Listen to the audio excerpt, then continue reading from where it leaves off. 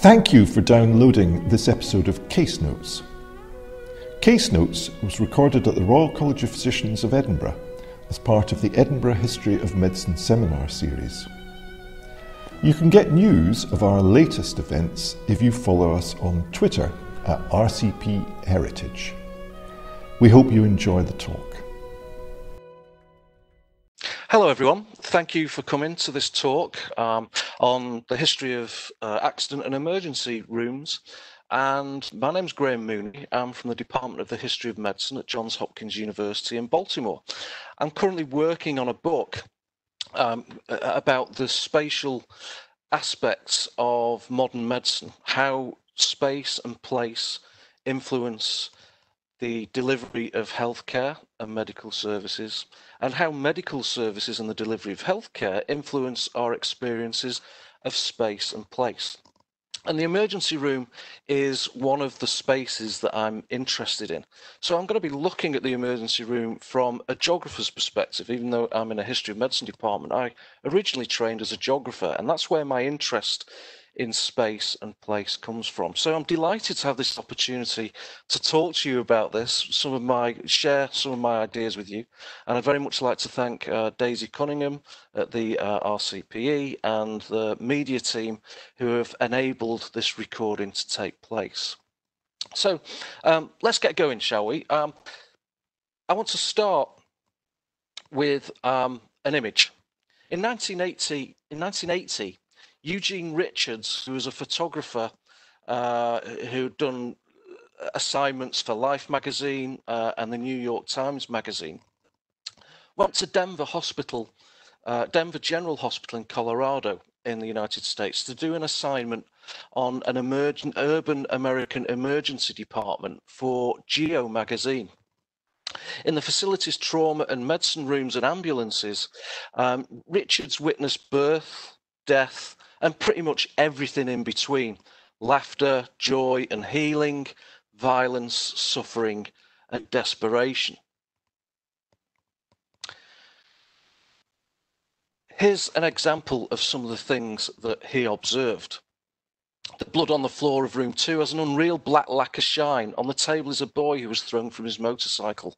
Without the airway clamp between his teeth, he'd probably be handsome. At 10.31, 30 minutes after he came in, the boy was pronounced dead. All but one of the room lights are shut off and the doors are closed. I know I shouldn't be in the room, not being staff or family, but after seeing him die, I can't leave. My job's not done yet. I make a photograph as Father Riley recites a prayer over the dead boy. Then I photograph the janitor picking up the bloody rags and washing down the table before I back out of the room. This extract didn't actually come from the Geo magazine who'd sent Richards off to do the assignment. The editors of the Geo magazine didn't have the stomach for the sorts of stories writ like this that Richards wanted to tell, and so they chose not to run the story in the end. In fact, this quote comes from Richards' 1989 book, The Knife and Gun Club. After Geo magazine got cold feet, Richards befriended some of the staff at the hospital and he kept going back to the hospital. And this remarkable book was the result. Now, there are many things that I could say about the Knife and Gun Club. And incidentally, the Knife and Gun Club was the term locals gave um, the, the General Hospital's emergency room. The book is by turns a, an amazing photo essay, an oral history, and compelling theatre. Um, and in her book, Bodies at Risk, Carol Squiers remarks that with his steering, searing images, uh, Richards represents the sudden, scary, urgent flow of wounds, attacks, and eruptions.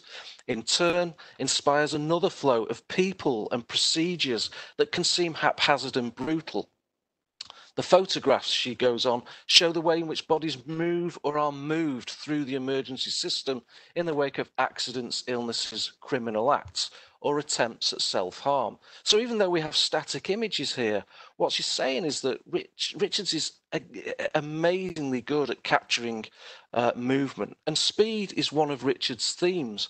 The night is picking up speeds, he writes at one point. It's thumping with heart sounds, coughs, cursing. The phones are ringing. Doctors are calling out orders. The machines hiss and buzz. I can almost breathe in the noise.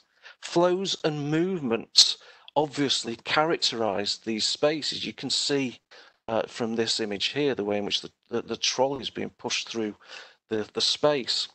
And flows and movements are actually what characterize spaces and places. They're not static entities.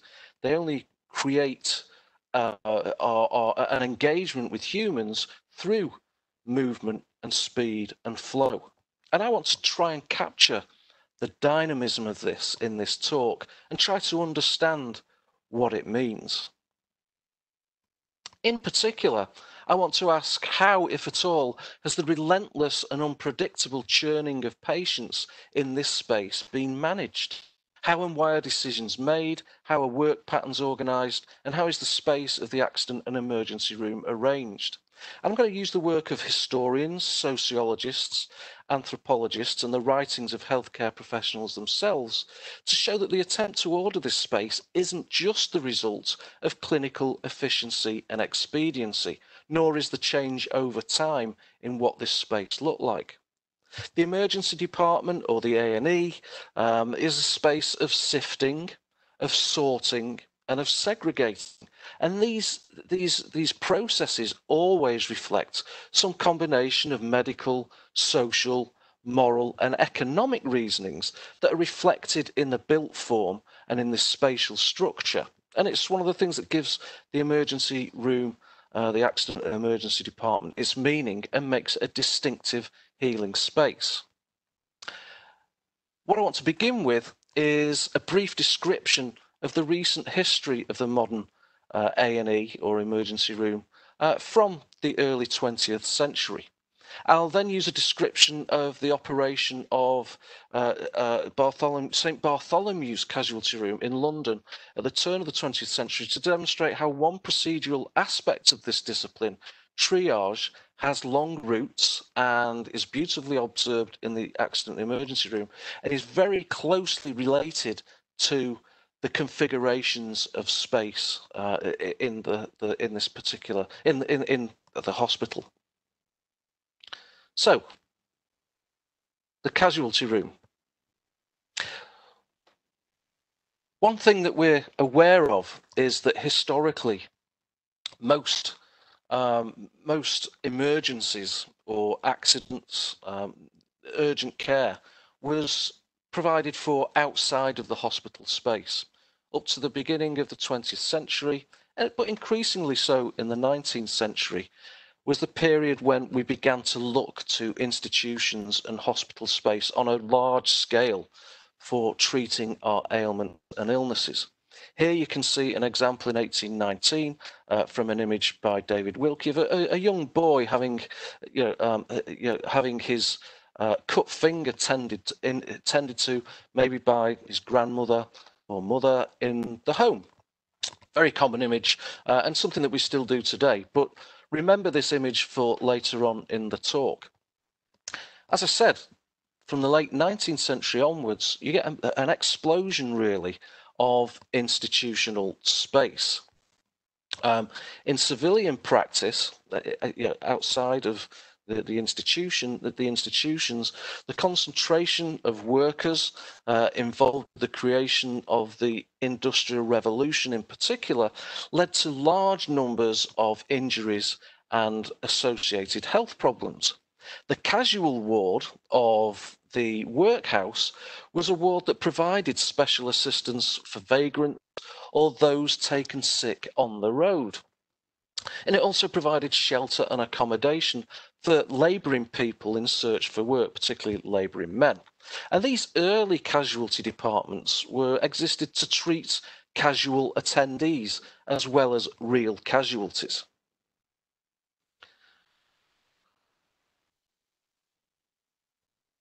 Lots of general hospitals and voluntary hospitals were also involved in the care of uh, in the care of these kinds of cases.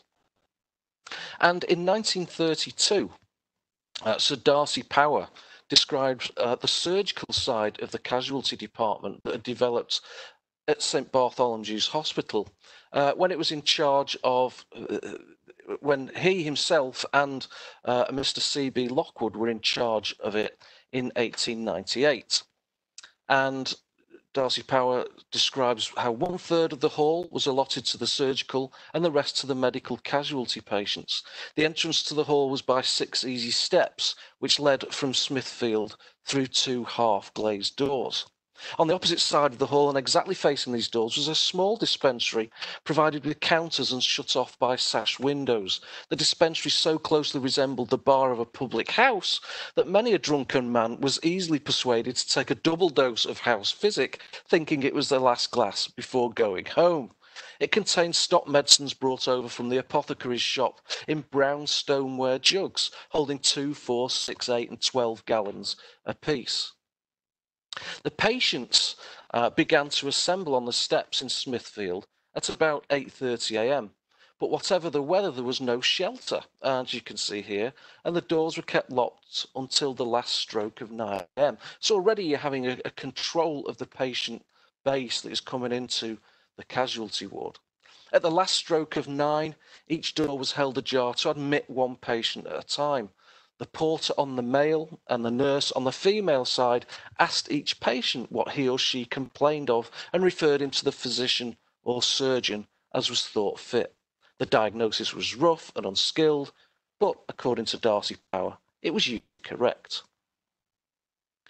Patients coming for the first time were directed to seats on either side of the dispensary where they waited until the assistant surgeon had interviewed them, and you can see uh, the dispensary, uh, the, the, the, the dispensary and the waiting room here.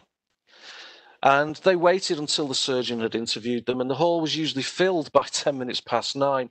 And the junior assistant surgeon uh, had to ascertain that the house surgeon was present and on duty. They had eight dressers to assist them, and the senior uh, house surgeon would then emerge uh, and would uh, treat the patients, um, going through them on the benches where they were sitting. They'd make a rapid diagnosis, ask a few pertinent questions, and sorted the patients into roughly, very roughly, into trivial uh, patients, uh, patients that provided teaching material and serious cases. Patients with trivial complaints were handed over to the house surgeon, who allotted them amongst his dressers. Cases useful for teaching were sent to the outpatient room, where they awaited the arrival of the assistant surgeon at 12:30 p.m. Those who were seriously ill were taken straight onto the ward. Now, when the National Health Service was inaugurated in, 18, in 1948, it inherited a large number of these kinds of casualty departments and almost without exception, they were housed in substandard premises and in quotes uh, around the back of the hospital. So you know, the, the, spatial aspect of the significance of casualty is reflected in the fact that you know, the, the, the, the, the, the casualty department wasn't the front door of the hospital as we have come to uh, think of it today. Doctors working in these uh, casualty departments had usually been qualified for less than a year, and most of the care and treatment was provided by nurses. There was, in fact, usually a consulting surgeon who was nominally in charge of these casualty departments, but according to contemporary accounts, they very rarely uh, visited them. So, before the 1960s, you know, uh, uh, in the early years of the NHS, casualty departments served primarily as accident rooms where physicians provided basic care to injured patients. Um, nurses and residents tended to manage these rooms, uh, and they only sought senior physicians' advice and guidance when needed. And outside of these spaces, people rely on, continue to rely on general practitioners for some of their um, their emergency care. Back in the United States, uh, around about the same time, one study suggested that only one out of seven hospitals even had an emergency department that could be classed as sufficient. Of 7,000 hospitals, as many as 3,000, it was suggested, couldn't even really be described as anything more than a glorified first aid station. Maybe a nurse on call in the hospital was available, maybe a physician was available in few minutes in a few minutes it was a bit of a lottery Less than half the emergency departments in the United States before the 1960s had any kind of written uh, policies and procedures. And only one uh, out of uh, one in every six had 24 hour coverage by physicians. Only half had any kind of routine staff training in emergency medical procedures. So what this section has been about is how, although the space, yeah, the space of the casualty room pre-1960s um, was very rudimentary. It was, you know, it wasn't a preeminent space uh, in the hospital, um, and it took on uh, a, a, a different kind of um, professional, technical, uh, deeply, um, deeply um, um, important role within the hospital in the 19 from the 1960s and 70s onwards with the emergent rise of emergency medicine as a specialty.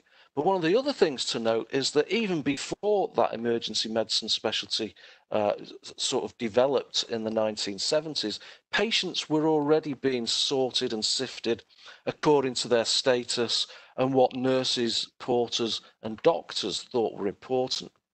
Um, and I'll I'll come back to that um, in the final section. But um, what I want to do now is talk about the origins of emergency medicine, where that came from, where emergency medicine came from, and why that was so important for the space, for transforming the actual space of you know, casualty rooms and uh, emergency uh, departments. But in spite of the remarkable organisation which had been built up in the 1914-18 period, is it not true to say that you and your colleagues, in preaching the doctrine of the segregation of fracture units, met with very great resistance? We did. Surgical specialism was slow to be accepted, particularly in the great teaching hospitals. And it was not until 1934 that I myself uh, was appointed as an orthopedic surgeon uh, to a teaching hospital, the Manchester Royal Infirmary. So, one of the reasons why it took so long for emergency medicine to emerge was a resistance, general resistance to specialism within uh, the medical profession uh, as a whole. And so, emergency medicine, as we now recognize it, is a relatively um, new discipline, as Sir Harry Platt was um, talking about there in relation to orthopedics. A lot of the early uh, you know, a lot of the early people who uh, people who worked in casualty rooms and accident emergency rooms were uh, ortho, had an orthopedic specialism. And I'll come on to Harry Platt in a minute. But it's a relatively new discipline in the, it, it, even today.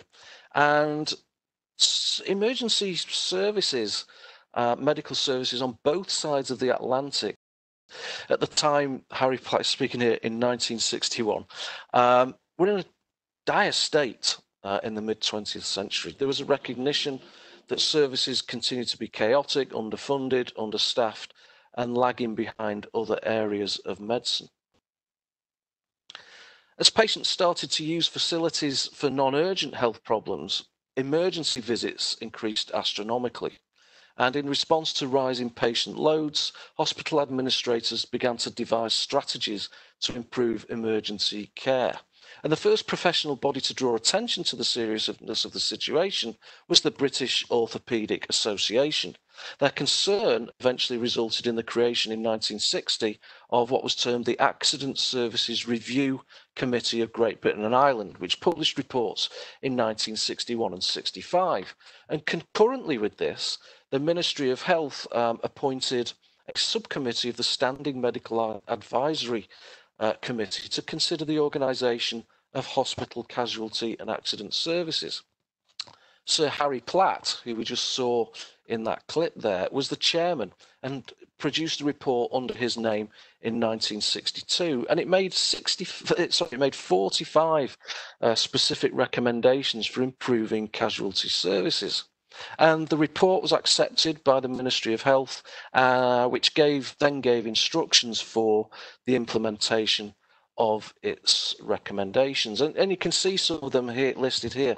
Casualty be changed to accident and emergency to give it more of a, a, a you know, less of an association with the old poor law casual wards and more of a you know, an appropriate indicator of the kinds of cases that were being seen. There should be three consultant surgeons, uh, should receive all medical emergencies, not just accident victims.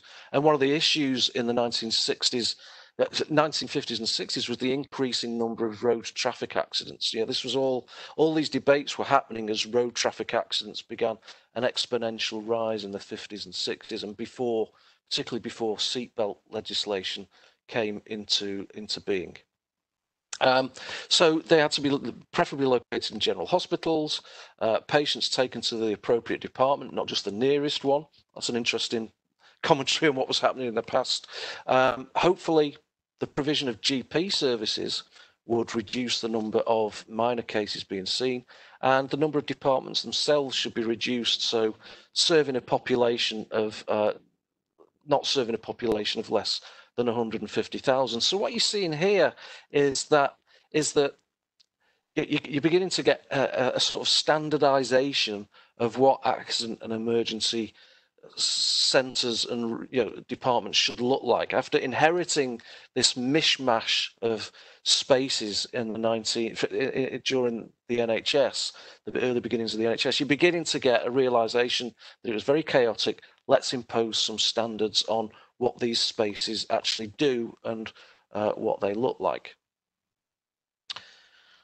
Another report um, in 1970 was uh, the Clark report, uh, which also uh, began to look at um, the, the actual training of uh, people who were becoming accident and emergency specialists. So incorporating um, accident work within medical education uh, for senior house officers, um, and also providing design of accident units and giving them the, the kind of support such as lab and rehab facilities that other uh, parts of the hospital and other areas of the hospital enjoyed up until uh, the 1970s. And, and, and after this 1970 report, um, there was a joint consultants committee report in 1971, which recommended to the Department of Health and was accepted that 32 experimental consultant posts in accident and emergency medicine be created. And they were appointed to work full time and be responsible for 32 of the major uh, accident and emergency departments in the UK.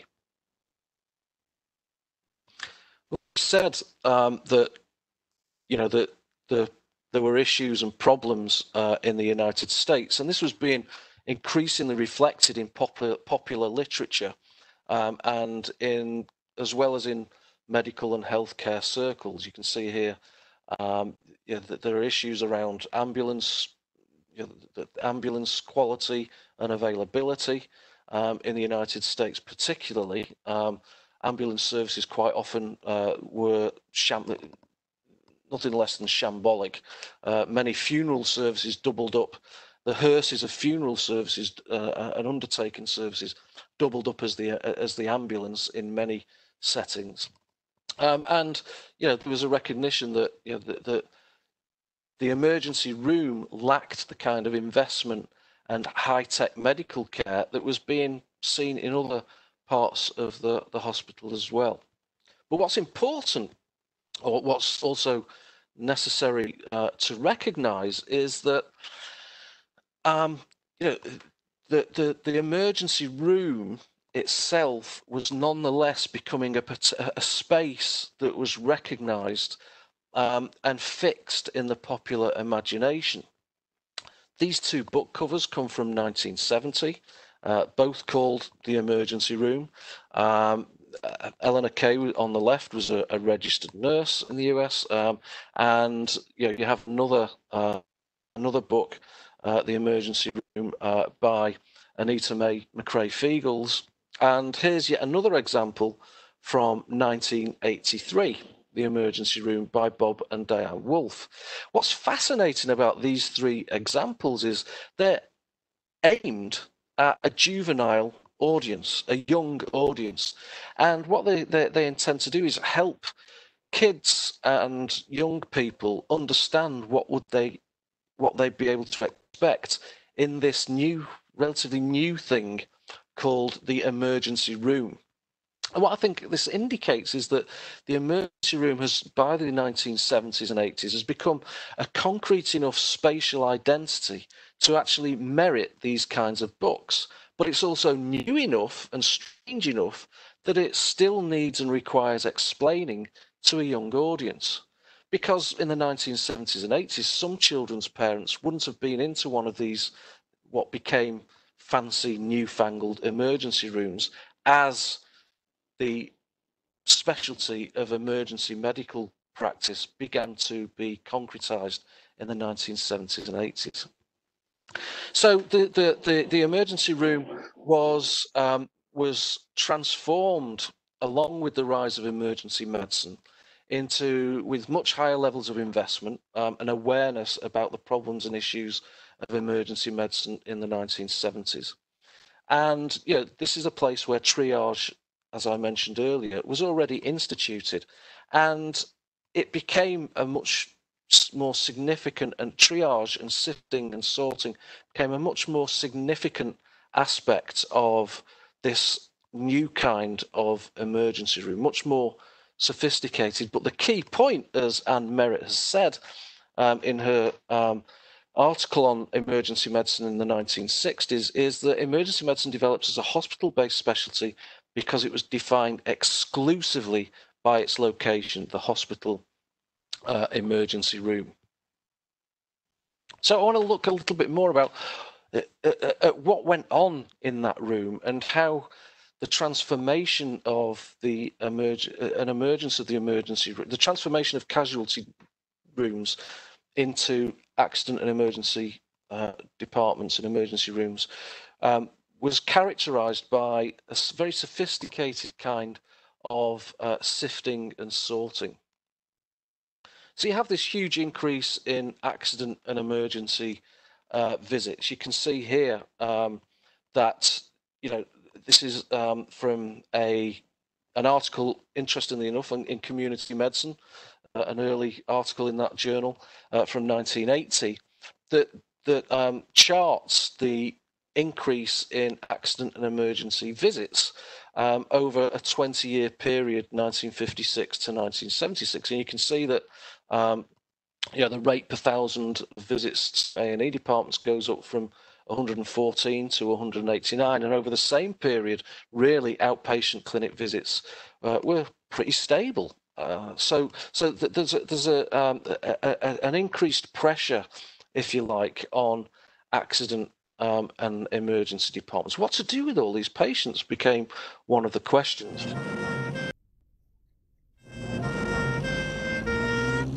This is an emergency. Day and night, the ambulances are bringing the sick and badly injured to the hospitals. It's my finger. I'm afraid you'll have to wait. The patient's heart begins to falter. Cardiac arrest.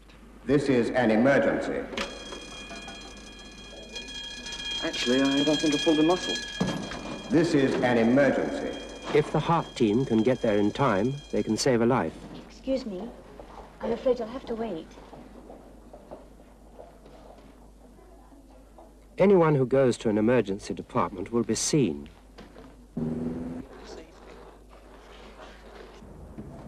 But the real emergencies come first. And you may have to wait. So contact your own doctor first. I want to emphasize there, and also uh, with this slide here, is the, the notion that emergency rooms, you know, increasingly we're beginning to deal with more and more minor cases. Um, you remember that slide from earlier on in the lecture where I showed a young boy uh, whose finger injury was being treated at home. And there you had the actor Brian Glover, who some of you may know from the series Porridge or the film Kes, uh, you know, the, the uh, rather irascible um, football coach in the, the, the local school, um, you know, comes in with his injured finger and has to wait. So, and you can see here, even from the 1950s, a concern that some people just want to come to the emergency room to talk. You know, we can't be having that. You know, so so there's a there's a, a move on the one hand to try and exclude non really non-urgent cases from the emergency room space or the accident and emergency space uh, because you know, as we saw from that chart that the table in a previous slide the number of uh, visits was going up and up and up and increasing exponentially. Um, and what ends up happening is that you get you know a, a, a concern around um, around the the sorts of uh, as we saw in that that uh, short film, you know, people sitting around waiting for a long time. And this is a spoof uh, ad, job advertisement that appeared in the Canadian Journal of Emergency Medicine in 2007, a career opportunity in emergency medicine waiting room medicine fellowship, where it's talking about, uh, yeah, ED sees in excess of 65,000 patients a year. Much of the care provided is done in chairs, on ambulance gurneys, behind temporary curtains, broom closets, and so on. So, yeah, yeah, there's an idea that A, there's an increasing number of patients coming to these spaces. B, is creating massive pressure on the, the system itself. Um, and I'll come back to that towards the end. But you know, these are clearly important and concerns around keeping the through flow of patients going um, in the A&E. And one of the the ways in which they do this is through um, through triage and through sifting and sorting. And so the emergency room becomes, in many ways, the front room of the hospital.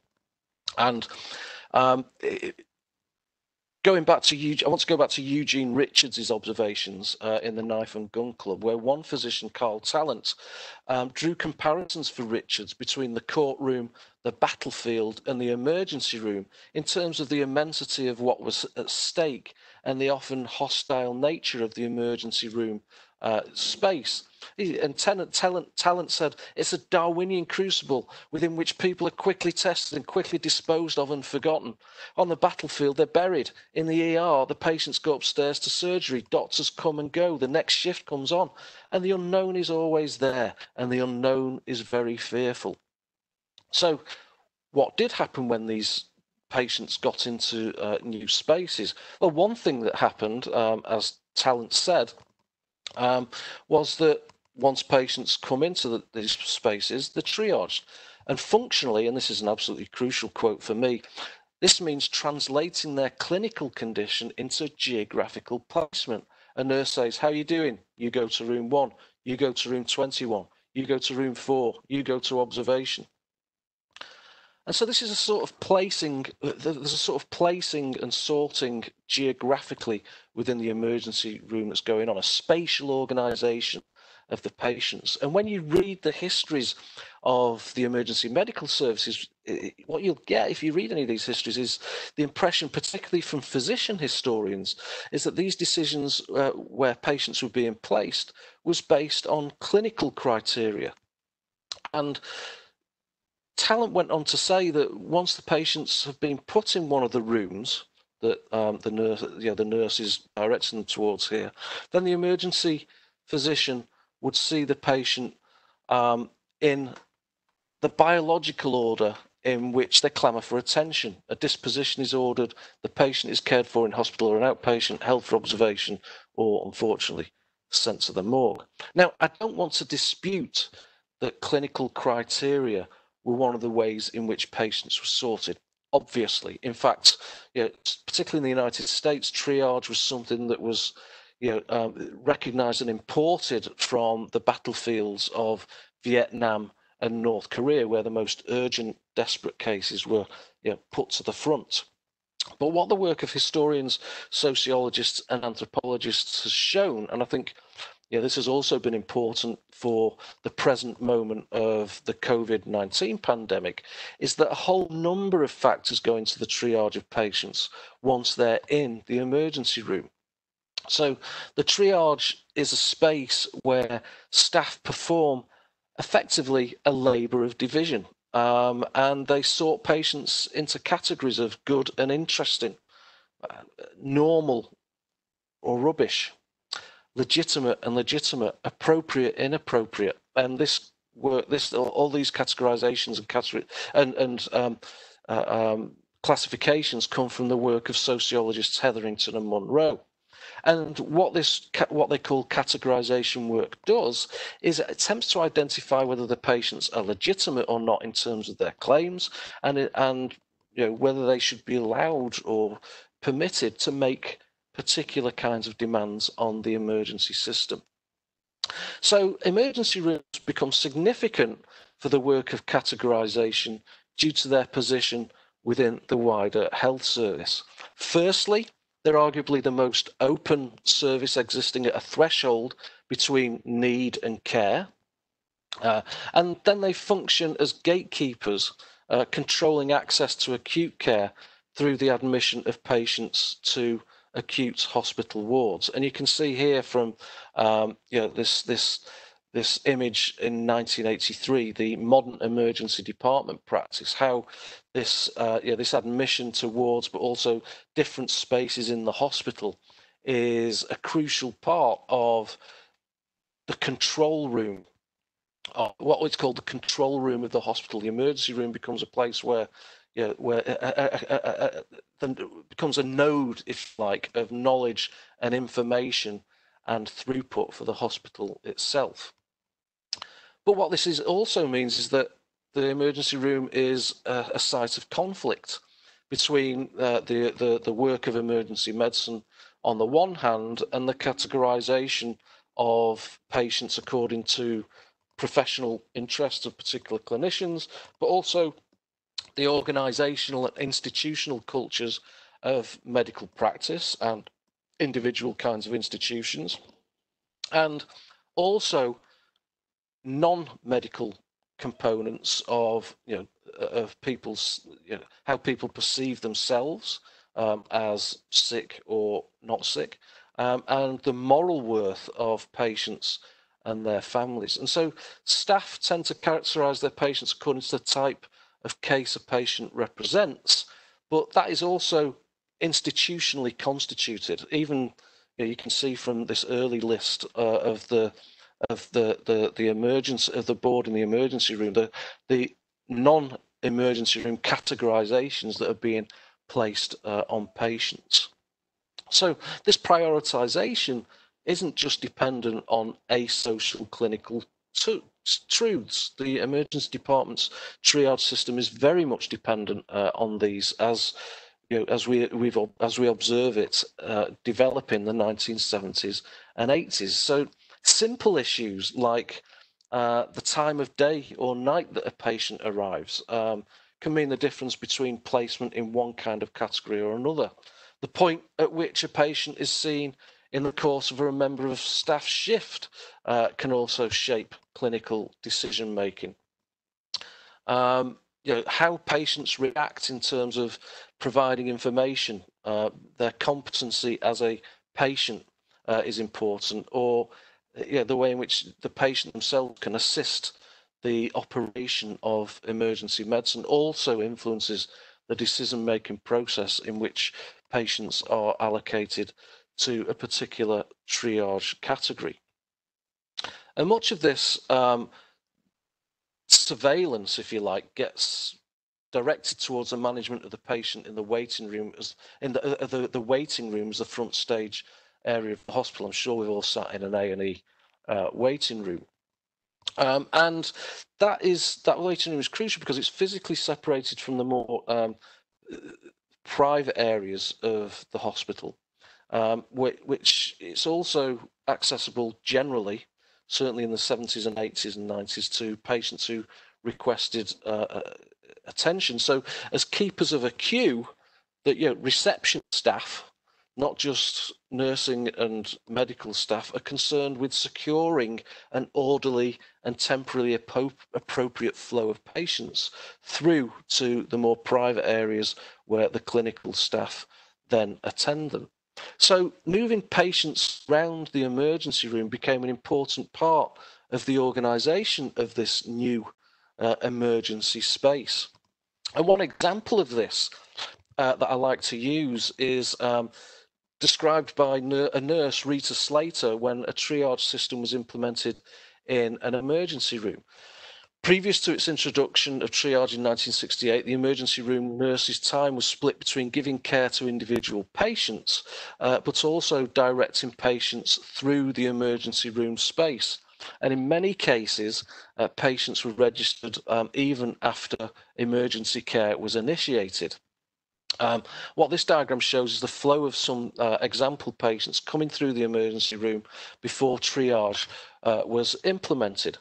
So one patient might come in through uh, the main entrance and go immediately to screening, directed there by a nurse, uh, or a patient might come in through the uh, ambulance door and go direct to screening, or maybe they'll end up going out of a side door as well uh, after being seen. And as the solid lines show how a patient might come in through the ambulance door, be seen in the screening clinic, uh, and leave again. Once the triage system was put in place, the nurse would send the patient either to the screening clinic via the registrar or to the emergency room if they needed acute care. And that patient I've just described is shown here uh, with the solid line. But what other sociological research has shown is that these sorts of categorizations aren't just based uh, on clinical need, as I mentioned earlier. For example, Dingwall, Dingwall and Murray called it the rule of clinical priority, where at the intake, patients were sorted into three categories those who conformed, those who were interesting, and those who were deviant. And in some senses, this isn't all that different from the sorts of categorization that were taking place in St Bartholomew's Hospital almost a century before in London. But the, as, as we saw from the previous slide, the, the kind of space was rearranged in order to make this sort of triage uh, more efficient. So what do we mean by deviant patients? Well, patients who were behaving poorly or inappropriately, or they were too naive to operate or understand the emergency uh, triage system. And yeah, whether a patient is appropriate uh, uh, is uh, behaving appropriately in scare quotes partly depends on the configuration of the space itself, whether they can move themselves around that space uh, in a in a, in, in a conforming kind of fashion. Patients were also seen were then placed into different kinds of frames. Um, and yeah, they might be, if they were conforming and had relatively minor co complaints, they might be put in a what what Dingwall and Murray termed a bureaucratic frame. Interesting patients um, quite often found themselves at the top of the pile in terms of the order in which they were seen by doctors because they yeah they were um, they they were patients that it was assumed the doctors would uh, be keen to see. So there's a lot of non-clinical criteria that are going together to make these kinds of decisions. have particular kinds of patients move through these, uh, the, move through the emergency room uh, uh, along these particular kinds of arrows and directions. And th these sorts of decisions are being taken with the input from a lot of non-clinical staff as well, uh, clinical staff of the hospital, but also families, friends, patients themselves. Um, so it's a constant negotiation in terms of what goes on in this kind of emergency room space. Um, and physicians and academics, well, I want to finish with this. Uh, physicians and academics continue to struggle with the problems of the pressure on emergency systems. Um, this is a representation of a model of the acute care system where import, inputs are seen as emergency care, unscheduled urgency care, or safety net care. And they place these massive demands, all these different categories place these massive demands uh, on the emergency department, which is then responsible for, uh, uh, the category here is throughput, um, where patients arrive at the emergency department and they're triaged, they're placed in particular room, um, and they're given diagnostic evaluations and treatments, uh, or they might be uh, they might be uh, put in uh, as boarded as inpatients. One thing to say about this, and to go back to how I began the talk, is this is all dependent on motion. Motion is absolutely crucial to the experience of patient care, the, the where, where, how and where and why patients move through the particular sort of space, not just through a model, but through the, the space of the, the ER itself. Um, and so one of the things that we see here on the right is um, in terms of the output um, and how difficult it is once the patient has left the emergency room to access follow up care and may be provided with adequate and suitable medical care because of a lack of available inpatient beds. Um, so we've, we've, certainly seen this in the recent COVID 19 pandemic in hospital spaces. So there's pressure coming on this emergency department system in all directions. And what's it kind of, for me, one of the things that's interesting about the output is, you know, is you know, the lack of access, where it says the lack of access to follow up care. One of the things that emerged in the 1960s and 1970s was this notion of pre hospital care and hospital care. And one, the, the, the, the, the, def, one of the, the, ways in which this was defined was through the rise of the, uh, uh, of the high tech emergency department. The emergency department was seen as the place where definitive care was begun. Anything before that, anything pre-hospital, you know, any medical care that was given by paramedics or in an ambulance was, or, or even by the general public, was seen as pre-hospital care. So you begin to get this spatialized definition of pre and definitive care. And the hospital, but particularly the emergency room, was a space in which this uh, this took place and which these categories were formulated. But also, what you have here, and interestingly for me, is post hospital care as well, which is also seen as being something spatially, but all spatially beyond the walls of the hospital, but it's also temporal as well. So you have pre, during, and post, which relate to outside the hospital, during is inside the hospital, and post is outside the hospital as well. So you have a, a combination of temporal and spatial differentiations of what the what the patient journey uh, looks like, and the emergency room is absolutely crucial for thinking about how that spatial categorization is important for medical care. So, what this represents is massive, uh, massive uh, pressure on the emergency room system, and when you get this kind, these kinds of pressures, uh, it means that the decisions that are being made in the emergency room about who gets treatment and who doesn't can't be made. Not not even aren't made, but sometimes they just can't be made on purely clinical criteria alone. Um, and you can see here, here's uh, you know recent uh, a recent um, visualization of what good trauma care uh, should actually look like. But it, it, you know all these other kinds of um, pressures that I just mentioned mean that this only often be an idealized version of what happens rather than what does happen in practice. And, and so, what I would finish with is we could argue that the emergency room, as it now exists, is a space which has become a microcosm. You know, from from shifting to this messy, chaotic, um, you know, unregulated space through the development of emergency medicine in the from the 1960s and 1970s onwards into this fairly highly regulated techno medical space. Uh, a microcosm. It's become a microcosm of the sorts of pressures um, and difficulties that have been faced uh, by the healthcare system more broadly. So, thank you for listening. They're just a few of my uh, um, formative thoughts on how I can approach the history of the space of the emergency department, accident and emergency room, emergency room, whatever you want to call it. And I very much uh, welcome your observations and comments.